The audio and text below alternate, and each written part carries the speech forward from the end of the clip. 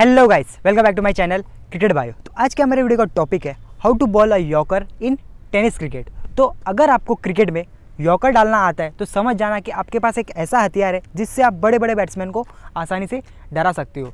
Cricket में yorker को एक बहुत ही खतरनाक डिलीवरी मानी जाती है। पर मैंने काफ़ी सारे बॉलर्स को देखा है कि वो यॉकर नहीं डाल पाते। उनका करियर ख़त्म हो जाता है, पर वो यॉकर डालना नहीं सीख पाते। क्योंकि छः के छः बॉल यॉकर डालना बहुत ही मुश्किल काम है। बड़े बड़े इंटरनेशनल प्लेयर्स भी नहीं डाल पाते। पर आज के इस वीडियो में मैं आपको बताऊँगा कि आपको यॉकर की प्रैक्टिस कैसे करनी है और यॉकर की प्रैक्टिस करते वक्त आपको किन किन चीज़ों का ध्यान रखना है। तो ये टॉपिक मैंने इंस्टाग्राम से पिक किया है। अगर आपने इंस्टाग्राम में फॉलो नहीं किया तो हमें इंस्टाग्राम पर फॉलो कीजिए। ये हमारा user name cricket bio one तो चलिए हम इस वीडियो को शुरू कर दें।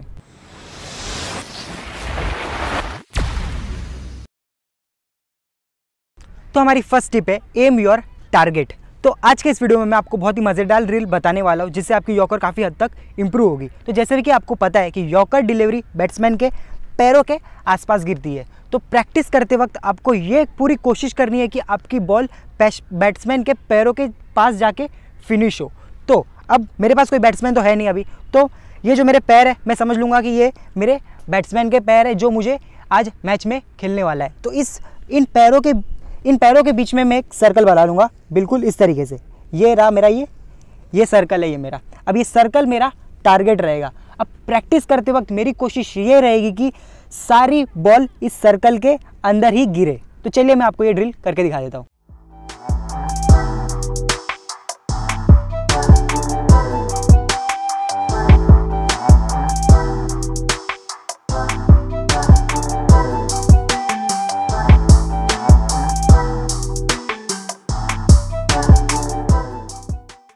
इस तरह प्रैक्टिस करने से मुझे मेरा टारगेट पता रहेगा कि बॉल मुझे डालनी कहाँ पे है। और बॉलिंग करते वक्त मेरा फोकस भी भटकेगा नहीं, क्योंकि मैंने सर्कल इसीलिए ड्रॉ किया है कि मेरा फोकस इस सर्कल पे बना रहे।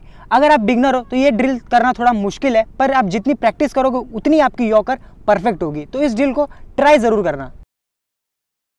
तो हमारी सेकंड टिप है रिलीज़ बॉल लेट तो अगर आपको परफेक्ट यॉकर डालना सीखना है तो आज के इस वीडियो में आपको एक सीक्रेट बताने वाला हूँ. तो जब हम बॉलिंग करते हैं, तब ये बॉल हमारे हाथ से कब निकलती है, कब रिलीज़ होती है? जब ये हाथ हमारे कान के पास आता है, तब ये बॉल हम बॉल हमारे हाथ से रिलीज़ होती है. और अक्सर सारे बॉलर यही करते हैं. पर अगर आपको यॉकर डालना है, अगर आपको यॉकर डालना है तो इस बॉल को थोड़ा लेट रिलीज़ कीजिए। आपके कानों के पास से मत कीजिए। थोड़ा सा आगे जाने दो हाथ को, फिर रिलीज़ कीजिए। ज़्यादा भी आगे मत जाने देना, फिर वो बाउंसर हो जाएगी। थोड़ा सा लेट रिलीज़ कीजिए। इससे उस बॉल को एक अच्छा एंगल मिलेगा और वो बॉल सीधा बैट्समैन के पैरों पर पे जाके फिनिश होगी। और इससे आपकी पेस में भी इंक्रीज इंक्रीमेंट आपको दिखेगा। तो ये छोटी छोटी चीज़ों पे अगर आप ध्यान रखोगे तो इससे आपकी बॉलिंग पे वो काफ़ी बड़ा इम्पैक्ट डालेगा। तो इसको ट्राई ज़रूर करना। तो हमारी थर्ड टिप है ग्रिप जैसे हम नॉर्मली बॉल को पकड़ते हैं, उसी तरीके से हम इस टेनिस बॉल को पकड़ेंगे। तो ये जो हमारी दो फिंगर्स होगी, बिल्कुल इस तरीके पे यहाँ पे होगी और इनमें ज़्यादा गैप नहीं होना चाहिए। बिल्कुल इस तरीके से कम गैप होना चाहिए और ये जो थम है, इन दोनों फिंगर्स के नीचे रहेगा। और इस बॉल को ज़्यादा टाइट भी नहीं पकड़ना है।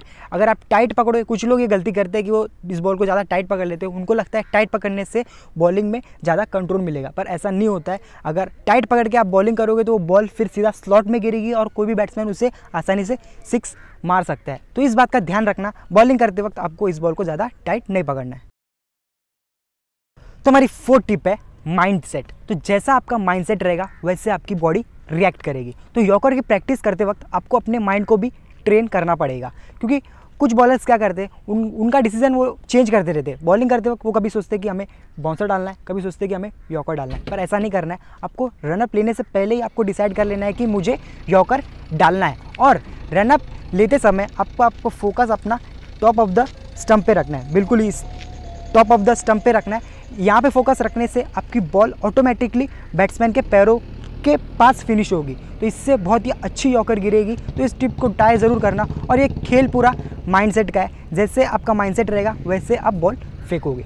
तो आज के इस वीडियो को हम यहीं पे एंड करते हैं। इस वीडियो के रिलेटेड अगर आपको कोई डाउट है तो आप मुझे कमेंट करके बता सकते हो। वहाँ पे मैं आपको रिवर्ट करके आपकी हेल्प करूँगा और आप मुझे कमेंट करके ये भी बताओ कि आपको नेक्स्ट वीडियो किस टॉपिक पे चाहिए। और मेरे चैनल को यहाँ से सब्सक्राइब कर लीजिए, क्योंकि मैं ऐसे ही इंटरेस्टिंग कॉन्टेंट लाते रहता हूँ। Thank you for watching my video